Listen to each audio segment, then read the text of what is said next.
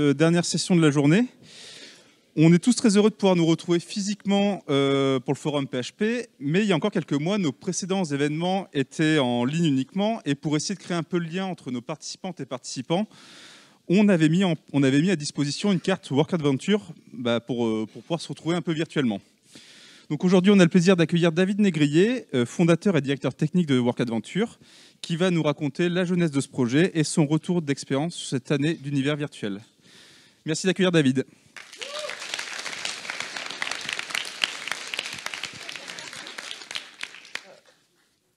Je vais commencer par une question, hein, tout simplement. Euh, qui parmi vous a déjà entendu parler de Work Adventure? Oh là là là là là Donc il y, en a beaucoup qui étaient l'année dernière sans doute et enfin franchement je suis en terrain conquis, ça fait super plaisir. euh, bah, du coup je vais pas vous faire l'insulte de vous réexpliquer trop ce que c'est. Enfin très rapidement pour ceux qui ne connaissent pas, euh, c'est euh, un système euh, de téléconférence déguisé en jeu vidéo et je vous ferai une petite démonstration tout à l'heure. Euh, Qu'est-ce qu'on va faire aujourd'hui? Ben, D'abord, on va voir un petit peu comment Work Adventure est né. Et puis, on va pas mal parler technique. Hein. On va parler architecture, on va soulever le capot. Je ferai une grosse partie sur WebRTC parce que c'est de la vidéo sur Internet, c'est le cœur de Work Adventure. Donc, je vais vous expliquer un peu comment ça marche et puis essayer de démystifier le machin. Et ensuite, on va parler ouverture de plateforme. Alors, d'abord, comment ça a commencé, la genèse? Bon, ben ça, je suis sûr que vous vous en souvenez tous. Hein. Nous sommes en guerre. ouais, euh, 16 mars 2020. Euh, et puis, eh ben, quelques jours plus tard, euh, on est effectivement enfermé à la maison, confinement. Et le confinement, de mon point de vue personnel, alors à ce moment-là, je suis directeur technique de The Coding Machine. Euh, on est une soixantaine. Et euh, je trouve qu'on se retrouve chacun. Alors, on, ça, ça, ça nous a pas empêché de travailler. Hein, on sait faire du télétravail. Mais on s'est tous retrouvés euh, focalisés sur nos propres projets. Et on s'est mis à travailler en plus petit groupe, c'est-à-dire le, groupe du projet. Et par contre, euh, ben, ça a un peu rétréci notre univers. Notamment, ben, moi, ce que j'aimais bien, c'est arriver le matin au bureau, faire le tour, euh, dire bonjour à tout le monde, c'est bouffer avec les collègues le midi, euh, la poser à la machine à café, comme on dit. Hein. Et ben ça, on l'avait plus. Et euh, ben, du coup, euh, chez The Coding Machines, qu'on s'est dit, bah, on va essayer de faire quelque chose. Alors, on n'est pas du tout les seuls à avoir eu l'idée. Hein, les étudiants ont fait pareil. À peu près tout le monde a fait pareil. On va faire un hackathon. Un hackathon, pourquoi? Euh, bah, D'abord pour rompre l'ennui et le confinement des personnes qui étaient seules chez elles. Pour se sentir utile aussi. Au début, on a cherché beaucoup, beaucoup, beaucoup d'idées autour du Covid. On n'a pas trouvé pendant deux semaines. Et puis pour pouvoir se voir, tout simplement, en fait. Et c'est un peu de là d'où est née l'idée de Work Adventure. C'est on trouvait pas d'idée sur le Covid et on voulait faire un hackathon pour se voir. Et du coup, on a focalisé l'idée, c'était comment est-ce qu'on peut faire pour se voir euh, les uns les autres. Et là, ça a fait tilt. On veut pouvoir se dire bonjour le matin, on veut pouvoir euh, se balader dans les bureaux et aller se voir les uns les autres. On va faire euh, ben, un petit jeu vidéo avec un petit bonhomme qui se déplace et quand je me rapproche de quelqu'un, je lui parlais. L'idée de Work Adventure était née, hein, c'est tout bête. Et du coup, ben ça, c'est le 16 avril, donc c'est euh, un mois après le, début du confinement. Je prends euh, Photoshop, je pose un fond de jeu vidéo, je mets deux petits bonhommes que j'ai chopés quelque part sur le web, et puis je colle deux tronches en haut à droite, et je dis aux collègues, hey, les gars, on va faire ça, ça va être super cool. et euh, bah, j'arrive à trouver quelques volontaires pour bosser avec moi un peu dessus le soir, pour s'amuser. quoi. Et le concept de Work Adventure, il est né là, et il n'a pas beaucoup bougé, hein, les bases elles sont là. C'est un univers 2D, et une communication en WebRTC quand on se rapproche les uns des autres, pour pouvoir euh, se parler. Et bah, ce que je vais faire, c'est vous montrer à quoi ça ressemble aujourd'hui. Donc ça, c'est Work Adventure aujourd'hui. J'ai mon petit bonhomme. Je peux me déplacer. Et puis, si je vais voir mes collègues... Salut Greg Coucou Ah, alors le son ne passe pas, mais euh, bah voilà, je suis en pleine euh, présentation. Et si tu veux voir, regarde. Y a du monde, hein euh, je te fiche la paix et je retourne euh, dans ma zone silencieuse. Ciao, ciao. Donc voilà l'idée. Euh, hop, je vais reswitcher sur la présentation, j'y arrive. Le QR code, vous le retrouvez à la fin si vous voulez aller voir la démo. Et bah, maintenant que j'ai parlé de la genèse, on va parler un petit peu de comment on a fait pour créer Work Adventure et qu'est-ce qui se cache sous le capot. Et le premier truc dont on a besoin quand on veut faire un projet comme ça, c'est d'un moteur de jeu. D'accord? Le petit bonhomme qui se déplace, euh, c'est pas euh, des, images IMG dans le DOM avec des gifs qui bougent, ça, ça, serait beaucoup trop compliqué. Derrière, il y a un moteur de jeu qui est complexe. c'est le canvas web de la page qui est pris. Et puis, l'affichage est fait avec WebGL, donc avec la carte graphique 3D. C'est pas juste de la copie de sprite, ça, ça prendrait trop de temps. On s'est posé la question comment on peut faire ça? On a regardé les moteurs qui existaient, on en a trouvé trois. Enfin, trois qui étaient vraiment, il y en a beaucoup plus, hein, mais il y en avait trois qui étaient un peu mouse. Le premier, c'est Unity. Alors Unity, c'est un vrai moteur de jeu. C'est pas juste un moteur de jeu web qui fonctionne en JavaScript. C'est un vrai moteur de jeu qui permet de faire des vrais jeux, euh, de les déployer sur console, etc. Le truc, c'est que faut coder en C Sharp. Euh, et puis, ils, peuvent builder euh, sur une target WebGL. Mais alors, pour faire ça, le C Sharp qu'on écrit est compilé en C++. Le C++ est transpilé via emscripten en euh, WSM qui s'exécute dans le navigateur. C'est un truc de fou, hein, d'un point de vue euh, technique. Euh, les gars qui ont fait ça, c'est bon, c'est des magiciens. cela étant dit, le coût, ben, déjà le moteur de base, il pèse 4, 4 mégas sans, sans rien. Et puis, s'il faut mettre un breakpoint dans le navigateur, dans du WSM, j'arriverai jamais à retrouver mon problème si j'ai un bug. Donc, c'est connu pour être difficile à débugger. Je suis dans le contexte d'un hackathon, donc Unity, out. Puis en plus, je code pas en C Sharp. donc, voilà, euh, je voudrais un truc euh, sur lequel je me sens un peu plus à la maison. Donc ça nous laissait quoi? Ça nous laissait PixieJS et Phaser, qui sont deux moteurs web, purement web, où on peut coder en JavaScript dans le navigateur, et euh, qui font le rendu 3D slash 2D, 3D aplati, quoi, pour nous. Alors, on a commencé sur Pixie, qui est vachement bien fichu. On a bossé pendant deux semaines. Et au bout de deux semaines, on a quand même eu un petit problème. On a eu des premiers résultats, on arrivait à afficher une carte, se déplacer, sauf que, sauf que ben, faire la carte, c'était compliqué. Donc il nous fallait un éditeur de cartes. Et développer un éditeur de cartes, c'est galère. C'est là où on a trouvé Tiled. Tiled, c'est un éditeur de map open source euh, qui permet de faire exactement ce qu'on veut faire, c'est-à-dire des cartes pour euh, des jeux de rôle euh, 2D euh, japonisants, on va dire. Le truc, c'est que Tiled, il crache un fichier JSON la, carte, c'est un fichier JSON, plus, euh, plus des tilesets qui sont des images. Et euh, Pixie n'avait pas, à l'époque, euh, de module pour charger les fichiers tiles, alors que Phaser en avait. Donc du coup, on a switché, on est passé sur Phaser. Phaser, c'est un gros, gros moteur de jeu avec plein de features. Ça ressemble un peu à la Ravel, il y a tout en euh, et, donc, on est parti, est parti sur Phaser parce qu'il y avait cette compatibilité avec Tiled. Et on a été assez vite et en deux semaines, on avait un truc euh, assez sympa qu'on pouvait montrer parce que le moteur de jeu est vraiment bien fichu en fait. Ça, c'est pour la partie front. Une fois qu'on a réglé la partie front, il nous faut la partie back. Et le but de la partie back, ça va être quoi? Ça va être deux choses. Il va falloir, un, qu'on partage la position des joueurs sur la carte. Quand quelqu'un se déplace, il faut que tout le monde le voit se déplacer. Et puis deux, euh, il faut que quand on se rapproche les uns des autres, on fasse là ce qu'on appelle le WebRTC signaling. Donc ça, j'y reviendrai tout à l'heure pour, euh, que les, pour faire passer le signal vidéo. Alors je vais me focaliser un peu sur la position des joueurs. Pour faire ça, il faut quoi? Il faut du temps réel, et pour faire du temps réel sur le web, on a quoi? On a des WebSockets. Donc il fallait que je fasse des WebSockets, et là je me suis posé la question, comment je vais faire? Et moi à la base, je suis développeur PHP, ça fait 15 ans que j'en fais, donc la première chose que j'ai fait, c'est regarder dans l'univers PHP, alors on manque pas de, de solutions, euh, on a React PHP, on a AMPHP, on a Swool qui existe. Euh, en plus, avec Fiber, ça devient un peu un sujet à la mode, mais les Fiber sont pas encore là. Euh, à l'époque, euh, j'ai eu un peu peur de cette solution parce que je me suis dit, au moment où j'atteins, euh, comme PHP single threaded, de la même manière que Node d'ailleurs, mais comme il est single threaded, au moment où j'atteins le plafond du CPU, je vais avoir du mal, il va falloir que je fasse de la communication interprocessus. C'est pas bien documenté, les communautés sont un petit peu petites. Donc j'ai mis, euh, j'ai mis cette partie-là de côté, je pense que j'aurais réussi. Euh, je me suis posé d'autres questions, du coup. J'ai été voir du côté de Bref et du serverless. Euh, alors là, l'idée, c'était de me dire, bah ouais, si je me pose des problèmes de scaling, pourquoi pas utiliser du serverless direct? Le truc, c'est que le support des WebSockets dans Bref était sous la... On est début 2020, et c'était une PR à l'époque, c'était même pas, c'était même pas en alpha, c'était, c'était tout juste naissant. Et puis, euh, je me suis dit, sur les lambda, il va y avoir des problèmes de coût avec les WebSockets. Si on laisse un truc ouvert longtemps, je, vais me faire euh, raqueter par Amazon. Donc, on a laissé euh, cette partie-là de côté. Je pense que ça aurait peut-être pu marcher. Alors, c'est peut-être un peu plus compliqué à faire marcher dans le sens où il y a les cold start, etc. C'est un truc où on va avoir de la fluidité.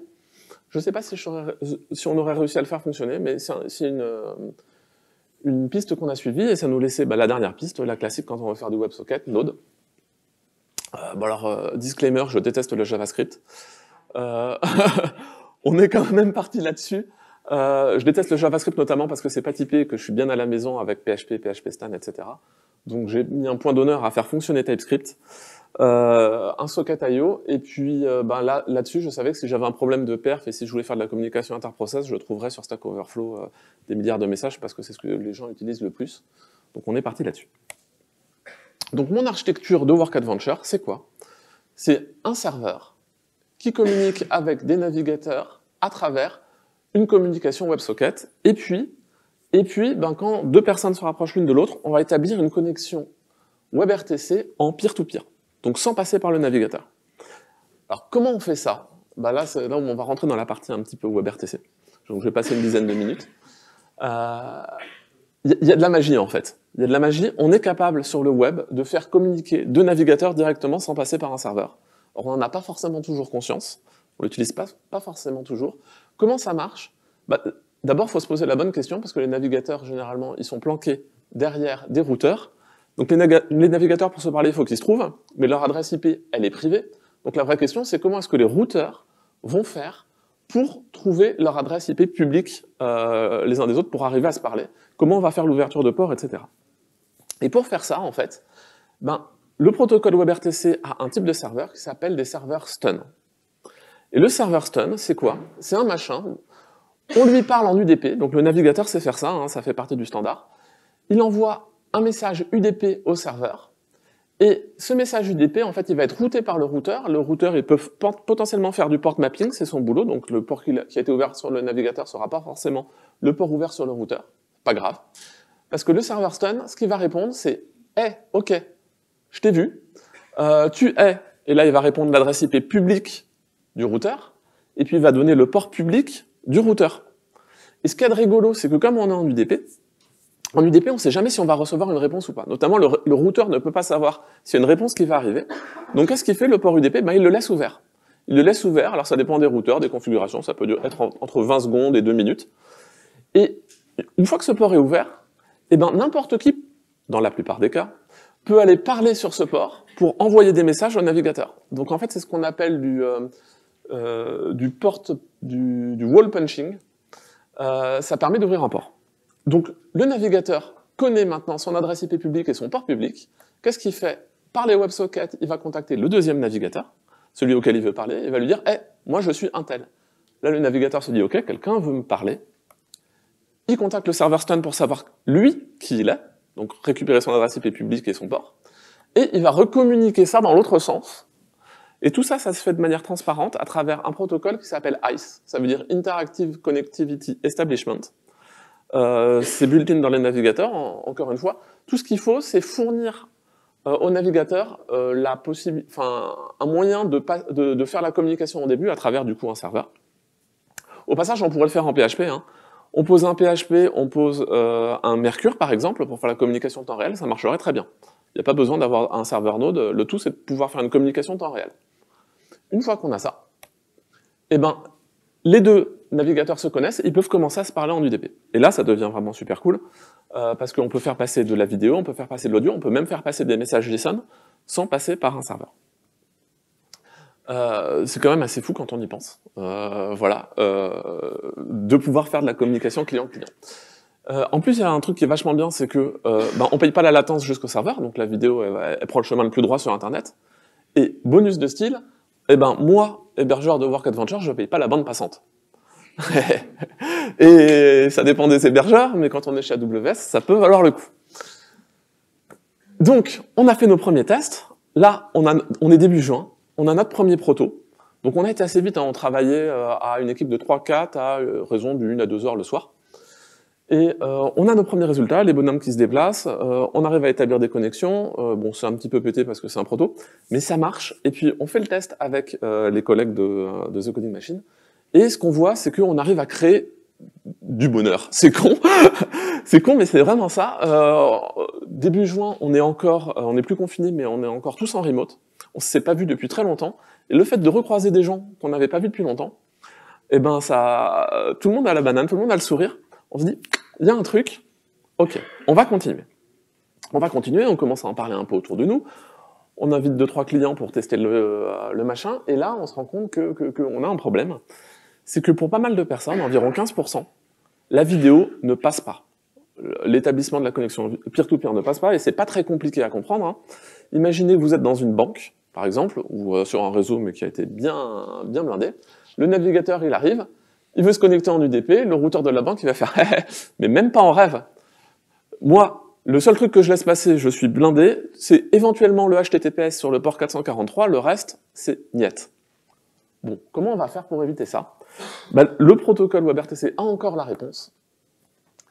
Il y a ce qu'on appelle des serveurs turn. Le serveur turn, c'est un serveur relais, en fait, qui est capable de se faire passer, de se déguiser en serveur HTTPS. C'est vraiment ça. Et du coup, on va pouvoir lui parler en TCP classique, le routeur au milieu, il n'a pas son mot à dire parce que, ben, mine de rien, euh, c'est du HTTPS, donc il n'est pas censé regarder le trafic. Et donc, dans la plupart des cas, parce qu'encore une fois, on peut toujours arriver à blinder les réseaux comme on veut, euh, ben dans, la, plupart des cas, le réseau va passer et du coup, on va pouvoir établir la, la, la connectivité avec euh, ben, l'autre navigateur et faire passer le signal web. Donc ça, c'est vraiment super. Avec ça, on a 98-99% de personnes pour lesquelles on peut faire passer de la vidéo, la grande majorité. Et euh, ben, on était très contents, on était très contents, sauf que, ben, sauf que on a eu un problème, hein, c'est que là je vous parlais d'établir la connexion entre deux personnes, mais sur Work Adventure, quand on est dans un petit cercle, on peut rentrer à plusieurs. Hein. Et quand on est trois, ben, on a trois connexions à établir. Quand on est quatre, ah ben, on a beaucoup plus de connexions à établir, et quand on est cinq, encore beaucoup plus, ça évolue au carré. Euh, et là, ça commence à être compliqué. Si je me place du point de vue d'un navigateur, bon, il va falloir que je récupère la vidéo de quatre euh, IP différentes, c'est pas un problème, hein, c'est normal, euh, c'est de la vidéoconférence, il faut le faire. Le problème, c'est qu'il va falloir que j'envoie ma vidéo à quatre personnes différentes. Et s'il y a 100 personnes, il faudrait que j'envoie la vidéo à 100 personnes différentes. Or, dans le monde réel, eh ben, sur les connexions classiques, alors particulièrement ADSL, mais même sur les connexions fibres, le débit est asymétrique. On peut beaucoup plus facilement recevoir qu'envoyer. Donc on a un problème. Comment on va résoudre ce problème-là? Eh ben encore par un type de euh, serveur différent qui s'appelle les serveurs SFU. Je crois que ça veut dire Single Forwarding Unique, ou un truc comme ça. Bref, euh, le serveur SFU, alors lui, on va lui envoyer notre signal une seule, euh, une seule fois, et lui, il va faire le dispatch du signal vidéo sur les autres navigateurs. Et, euh, et, avec ça, on va être capable d'arriver à un grand nombre d'utilisateurs. Alors le problème, c'est que c'est un serveur, qu'il faut que je l'installe, qu'il faut que je le scale, qu'il faut que je le paye. Euh, mais c'est la seule manière de faire. Et puis le serveur SFU, on peut l'utiliser en mode conférence, voilà, pour envoyer la vidéo à beaucoup de personnes, donc c'est plutôt cool. Donc l'architecture, tout d'un coup, c'est plus juste un serveur, un navigateur, c'est un serveur, un navigateur, un serveur stun, un serveur stun et un serveur SFU. Et si vous voulez, je vais faire un peu de name dropping, enfin en tout cas pour ce qu'on a utilisé pour Work Adventure. Euh, pour le serveur stun et turn, il n'y a pas le besoin de se prendre la tête. En open source, il y en a un, c'est Coturn, c'est le standard de facto. C'est pas très compliqué à installer. Euh, un peu plus compliqué à scaler, ça marche très bien. Pour les SFU, il y a beaucoup, beaucoup plus de choix. On a des Janus, des Mediasoup, des Jitsi. C'est des communautés qui sont un peu petites, c'est pas la communauté de Symfony ou de Laravel où vous allez trouver de l'aide facilement. En plus, si vous voulez faire une extension pour Janus, il faut savoir coder en C. Euh, Mediasup, c'est C++ ou Node.js. Nous, ce qu'on a pris, c'est Jitsi. Alors pourquoi on a pris Jitsi? Bah Parce qu'on était en mode hackathon. Et Jitsi, c'est pas juste un bête SFU bas niveau, il offre en plus une interface graphique qui ressemble à Google Meet on s'est dit, on va partir là-dessus, ce sera très bien. Si on est plus de 4 dans un cercle, ben, on va bloquer, et puis on va aller ouvrir une iframe qui va afficher Jitsi. Et ce que ça donne au résultat, donc voilà l'architecture euh, de Work Adventure telle qu'elle est aujourd'hui, et ce que ça donne au global, ben, c'est que quand on se met dans une pièce particulière, on ouvre le Jitsi, et puis on peut se retrouver à tous dans le Jitsi. Ça, c'est une conférence euh, du vendredi matin chez The Coding Machine. Vous voyez, on peut commencer à être pas mal, et c'est pas un problème, quoi. Par contre, on passe par le serveur. Vous faites pas d'illusions, WebRTC, c'est pas simple. si vous voulez vous lancer dans l'aventure, néanmoins. Euh, alors, quelques conseils. Euh, L'API euh, côté euh, navigateur, elle est assez balèze. Euh, donc simplifiez-vous la vie. Il y a un petit paquet qui s'appelle SimplePeer, qui est bien fichu, qui aide à la compatibilité entre navigateurs, notamment entre Firefox et Chrome. Si vous voulez avoir ben de la compatibilité avec du mobile, ce sera encore plus compliqué, mais c'est faisable. Les serveurs sont pas simples à scaler. non plus. Euh, généralement, si vous voulez faire une solution SaaS, comme on essaye, on essaye d'avoir de l'autoscaling, bah, c'est beaucoup de c'est beaucoup de dev, quoi. Hein, soyons clairs. Et, euh, et par contre, si c'est un petit conseil, si c'est pas le cœur de votre business, euh, si c'est juste pour ajouter une petite feature comme ça dans une grosse application, vous pouvez vous baser sur des services externes. Alors typiquement, il y a Vonage, il y a Daily et il y a Agora. Euh, eux, ils fournissent une API JavaScript facile à utiliser contre un abonnement. C'est une offre SaaS et ça permet de mettre de la vidéo ou de l'audio très facilement dans ces applications. Donc euh, si vous voulez pas vous prendre la tête et que vous n'avez pas des milliards de vidéos à diffuser, c'est pas mal. On a même des concurrents de Work Adventure qui utilisent ces services euh, pour se focaliser vraiment sur le jeu. Alors nous, c'est pas ce qu'on a fait, on l'a développé nous-mêmes parce qu'on avait quand même un besoin, bah, c'était d'essayer de faire la plateforme la plus ouverte possible. Ça, c'est une idée qu'on a eue dès le début avec Work Adventure. Garder la plateforme euh, la, plus, euh, la, plus ouverte possible, et ça commence par quoi? Bah, Ça commence par une licence. Alors, on, la première chose qu'on a faite, c'est mettre le code sur GitHub. Hein. On était en mode hackathon, on s'est pas posé la question. Et puis ensuite, le choix de la licence, on a pris quelques mois. Quand on a commencé à sentir que ça commençait à marcher, euh, on voulait qu'elle soit ouverte, on voulait pas non plus se faire piquer l'idée. C'est un peu compliqué. On a choisi AGPL plus Commons Clause. La Commons Clause, c'est euh, une clause qui restreint un droit, qui fait que c'est pas tout à fait de l'open source, mais presque. Euh, ça empêche, euh, ça, enlève juste un droit, c'est le droit de vendre la solution en, en abonnement, donc en mode SaaS. C'est un droit qu'on se réserve. Tout le reste, c'est comme de l'open source. Donc droit d'installer, droit de modifier, droit de redistribuer. Voilà, c'est la clause anti-Amazon. Ça empêcherait par exemple Amazon d'installer un Elasticsearch et de vendre le service à la place des gars d'Elasticsearch au hasard. Euh, euh, mais voilà, une plateforme euh, ouverte, c'est pas uniquement la licence open source. Derrière, on voulait pousser euh, la logique. Ce que j'aurais adoré, c'est d'avoir plein de work adventures un peu partout dans le monde qui se parlent les uns les autres et que ça fasse un gros univers virtuel. Alors ça, techniquement, c'est balèze à faire. On n'y est pas, euh, on mettra peut-être, euh, peut-être, peut-être qu'on n'y arrivera pas parce qu'il faut quand même que les utilisateurs qui sont dans la même pièce soient sur le même serveur pour qu'on ait de la latence très faible et puis pour, pour pouvoir partager leur position. Par contre, on peut distribuer plein de choses à part les positions. Et la première chose qu'on peut distribuer, c'est les cartes. Là, vous avez une carte de, euh, de Work Adventure, et si vous, alors c'est marqué petit, mais si vous regardez l'URL tout en haut, vous allez voir qu'à l'intérieur de l'URL, il y a un truc à la fin qui ressemble vachement à une autre URL. Et c'est pas un hasard, c'est une vraie URL.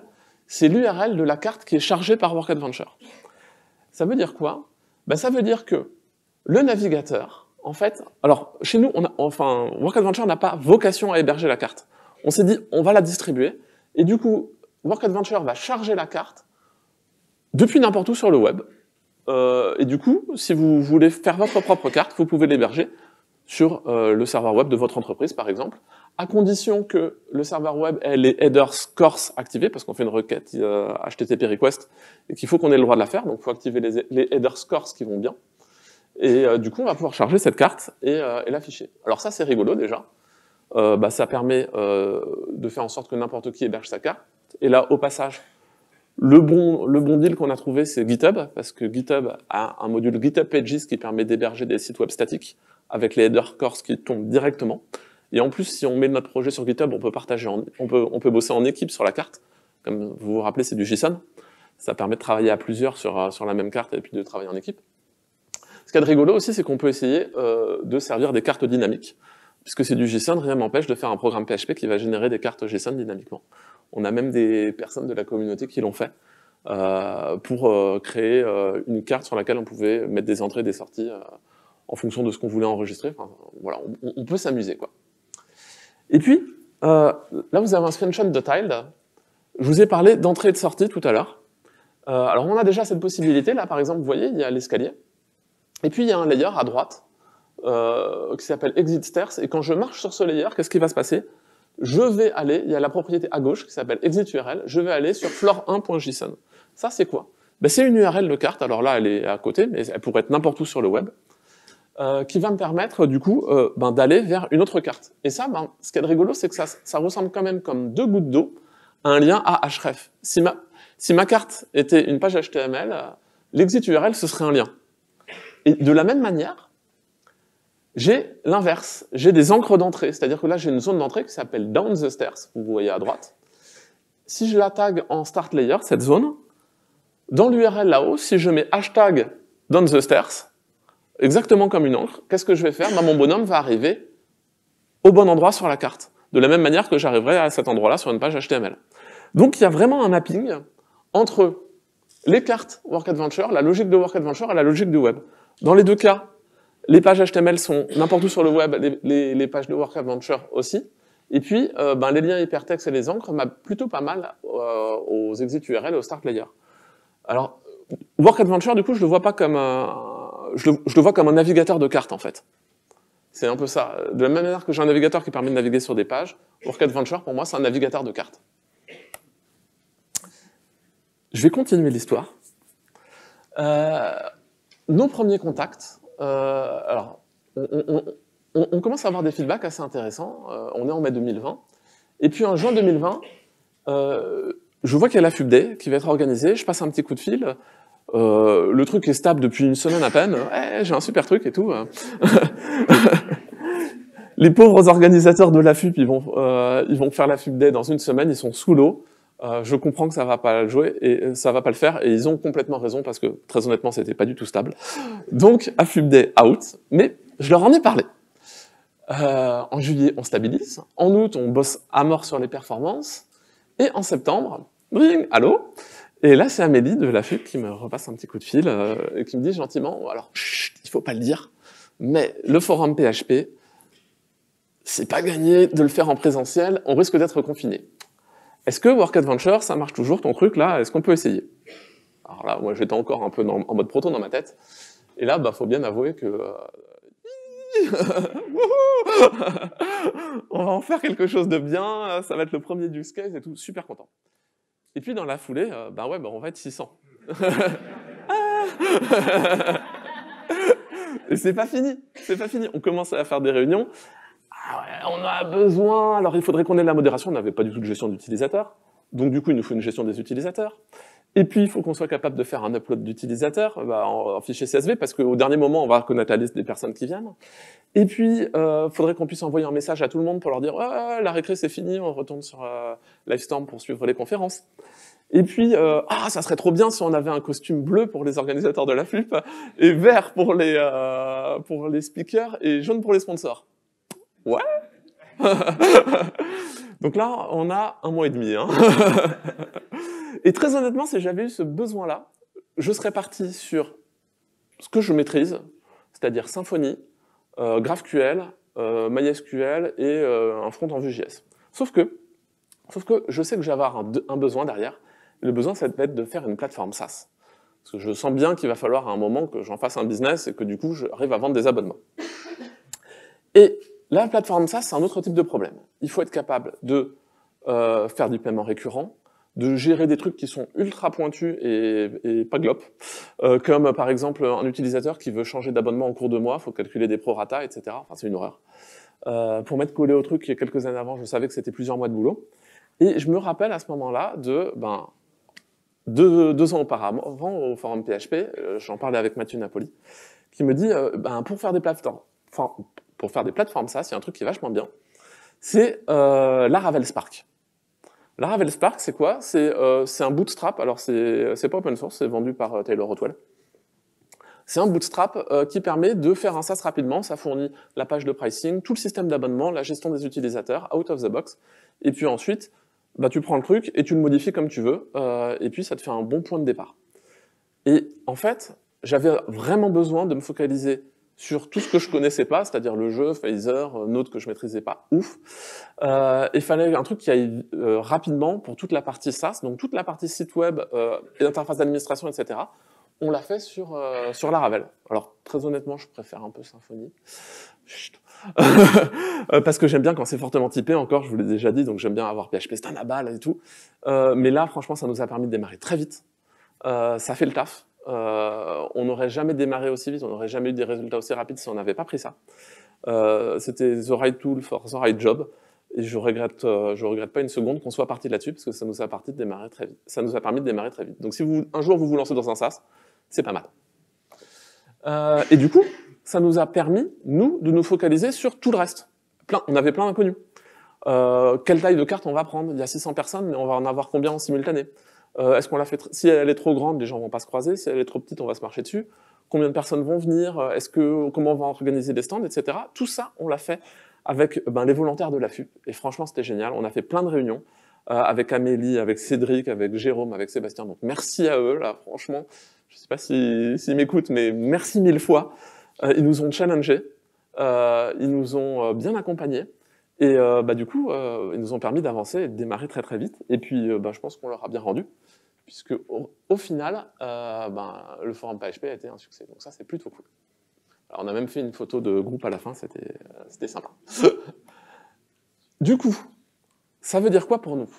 Octobre 2020, on fait le forum PHP. Novembre 2020, on fait un festival en Allemagne. Alors je pense qu'il y a quelqu'un qui, a dû le voir au forum et qui s'est dit ouais, on va faire ça en Allemagne. Décembre, le Dark Miratour au Brésil. Donc là, ça commence à être vu un petit peu. Puis on commence à être utilisé par YouSign, par Monsieur Biz, qui commence à faire des cartes, qui nous font des feedbacks et tout. Donc merci à eux aussi. Enfin bon, c'était cool. Et courant décembre, il y a un gars qui pop sur la map, parce que du coup, bon, j'étais dans mes bureaux virtuels sur The, euh, de The Coding Machine, et il y a un gars qui pop sur la map, et il me dit oh, Salut, euh, alors il est allemand, et il me dit euh, oh, On a vu Work Adventure, c'est cool, on est en train d'organiser un événement, on est en train de donner des formations tous les mardis, on a fait une page de doc en allemand pour expliquer comment faire des cartes, et, et, et, on va être 20 000. ah mais là, la bonne nouvelle, c'est que comme c'est un truc de hacker, parce que le Chaos Computer Club, c'est quand même une association de hackers, ils ont pris Work Adventure, ils ont tout fait dans leur coin, ils ont réinstallé un serveur, ils ont fait des, forks dans tous les sens, des PR partout pour arriver à le faire scaler. Et, euh, et du coup, on a été vu par 20 000 personnes en Allemagne. Et, et, et, là, et là, ça a lancé encore, c'est la boule de neige, quoi. Euh, ça a lancé un truc, on a commencé à recevoir plein de contributions. C'est-à-dire que ça a été vu par plein de devs en Allemagne, et les mecs commencent à se lâcher. Et on commence à recevoir, bah d'abord, il euh, y en a un qui me dit, ouais, regarde, quand tu marches ici, tu arrives sur des zones sonores. Ça, joue un petit son. Puis l'autre, euh, ouais, j'ai mis des cartes animées pour faire des petites animations. Et puis ensuite, le support des emojis. Et puis un jour, on reçoit des animaux de compagnie. C'est pas nous. On y est pour rien. on y est pour rien. Hein. Et la PR vachement bien faite et tout, avec un petit menu, sélectionne ton chien ou ton chat. Ok. on, commence, on commence quand même à se poser des questions et encore un peu plus tard, il y a un gars qui arrive et qui fait, ouais, alors c'est des animations quand on passe à proximité euh, d'une zone. Euh, ça permet de lancer une animation, comme ça, quand tu marches dans un champ de blé, les blés s'animent. yes What? Et le pire, dans la communauté, gars disent, si, si, c'est vachement bien euh, Ok, là quand même, on a mis le haut là, parce qu'on a un problème, on a, on a un gros problème, c'est qu'on a une application qu'on doit maintenir en SaaS. Et on a un gros problème de maintenance parce que les cartes, elles sont à l'extérieur. Et il faut que ça marche, marche ad vitam aeternam. On ne peut pas se permettre à, des gens qui ont fait des cartes de leur dire du jour au lendemain, désolé, votre carte, elle est plus compatible. Donc, ce qui veut dire qu'on va devoir maintenir tout ce qu'on est en train d'introduire. Et on a essayé de, prendre du recul et de se dire, c'est quoi le besoin? Le besoin qui nous exprime, c'est d'être capable d'exprimer leur créativité, de faire des trucs rigolos, de faire des trucs cool. Euh, mais nous, on n'avait pas trop envie de les laisser trop toucher au cœur de la plateforme parce que derrière, c'était du taf pour nous.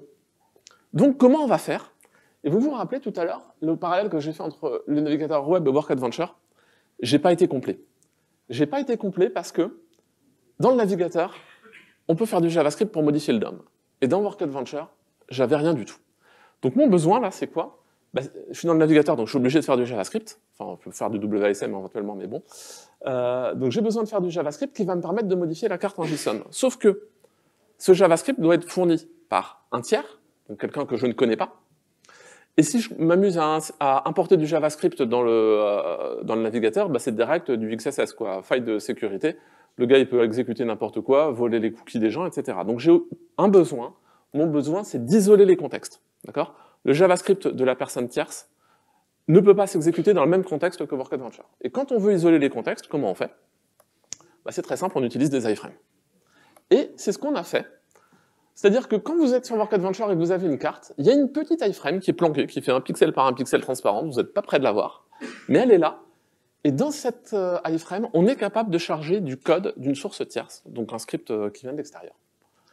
Et ce script va communiquer avec Work Adventure à travers la Post Message API, qui est le mécanisme natif dans les navigateurs pour passer des messages entre iframes. Comment ça fonctionne? Bah, C'est pas compliqué. Hein. Il y a une fonction qui s'appelle window.postMessage. Vous envoyez un message JSON. De l'autre côté, vous récupérez le message en faisant un euh, add event listener sur le message. Vous récupérez le message. Et là, vous pouvez faire une API qui est clean. Et du coup, ben, les formats JSON acceptés sont euh, finalement l'API que vous, que vous laissez. Alors, on a quand même un tout petit problème. C'est qu'une iframe, ça peut accéder au DOM du parent. Et que euh, si elle est dans le même domaine, et c'est un peu mon cas là, parce que mon iframe fait partie du nom de domaine Work Adventure, et par contre, le script ne fait pas partie du même domaine, mais l'iframe, elle, son autre domaine, c'est Work Adventure. Comment on va régler ça? Il y a un truc qui n'est pas très connu, c'est l'attribut sandbox qu'on peut poser sur les iframes. Et si vous posez l'attribut sandbox sur les iframes, vous pouvez dire ce que l'iframe est autorisé de faire. Et nous, ce qu'on autorise là, c'est juste les scripts. Donc on utilise juste le JavaScript. Par contre, euh, une fois qu'on a posé l'attribut sandbox, eh ben, on n'a plus de... Euh, euh, l'iframe ne fait plus partie du même nom de domaine, donc elle est plus capable de faire de requêtes à l'extérieur, plus capable d'accéder aux cookies, donc à la session, plus capable de lire le local storage, et elle est vachement restreinte. C'est exactement ce que je cherchais. Et si vous avez le, besoin un jour de laisser un utilisateur exécuter du code JavaScript que vous ne maîtrisez pas dans votre application, PostMessage API avec une iframe sandboxée, c'est un moyen de le faire. Alors c'est assez rare, hein, mais si jamais, voilà, vous savez comment on fait.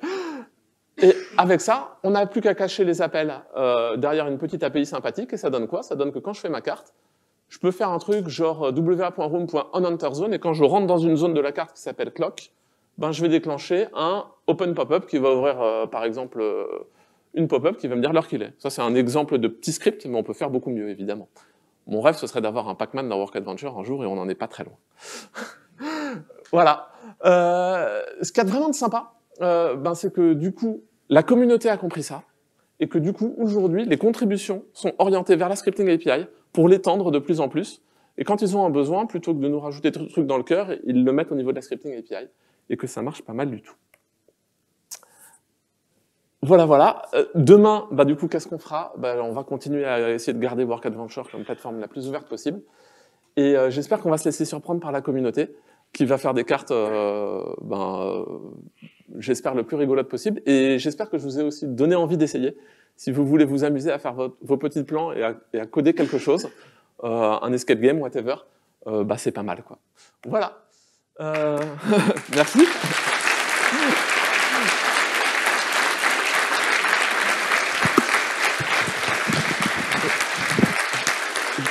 Je ne sais pas s'il reste du temps, pour les questions. On recrute au passage, si ça vous dit. Merci beaucoup David. On a trois minutes pour les questions, donc euh, on peut en prendre quelques-unes.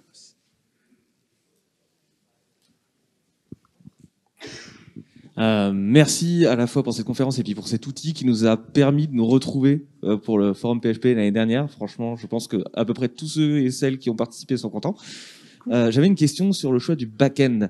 Tu as utilisé Node.js, alors tu dis que tu n'aimes pas le JavaScript et que tu as besoin de quelque chose de fortement typé. Pourquoi tu n'as pas pris un langage fortement typé, euh, quitte à devoir euh, coder autrement en fait? Ouais, alors j'étais un peu dans une logique à, à Caton, je voulais aller vite, je savais en faire quand même. si je devais recommencer de zéro, je partirais peut-être sur du Erlang. parce que c'est vraiment fait pour ça, en fait, quand tu regardes des outils comme WhatsApp, etc., tourne en Erlang, parce que ça peut scaler très, très facilement. Et puis, euh, bah, euh, c'est très très bien typé. Euh, je suis voilà. Mais, euh, mais là, j'étais vraiment dans une logique où je voulais. c'est aussi pour ça que j'ai pas pris Unity. Il fallait que j'ai des technos que je maîtrise pour arriver à sortir quelque chose avant la fin du confinement. Quoi. On peut en tenter une seconde. Je sais plus qui. Merci pour la conférence. Euh, tu disais que tu n'avais pas de payer de bande passante euh, grâce à WebRTC. Et juste après, euh, tu parles des serveurs qui permettent de gérer plein de choses pour les flux vidéo, tout ça. Mais du coup, est-ce que c'est pas perdre ce, gain de bande passante? Alors, en fait, ce qui se passe, c'est que tant que je peux ne pas la payer, je ne la paye pas. c'est-à-dire que dès qu'on passe par le serveur turn, c'est-à-dire que ben, j'ai 15% de mes appels vidéo environ qui passe par un serveur turn. Donc déjà, ça fait, je paye 15% de, de, cela. Et puis quand je suis dans une salle de conférence, bah là, je suis obligé de le payer, j'ai pas d'autre choix. Donc, euh, bah, c'est vrai jusqu'à un certain point. Et bah, une dernière. Bonjour.